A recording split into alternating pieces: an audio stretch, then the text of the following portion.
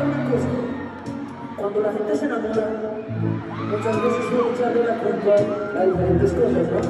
Entonces están los que dicen que es el destino, están los que dicen que todo está escrito, y hay otros que dicen que simplemente tiene que pasar. Pero esta canción nace en un poco diferente, y es el hecho de pensar, ¿qué pasaría si uno en la vida tuviera una cantidad limitada de suerte?